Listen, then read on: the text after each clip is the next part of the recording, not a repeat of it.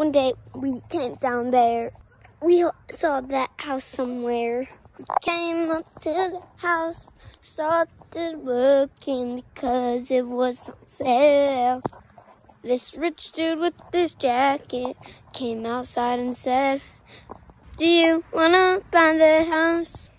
And then we said, Give us a couple months, then we'll be back and we'll say, Oh, it's okay, we will buy it. And then that day came, and we bought this huge freaking house.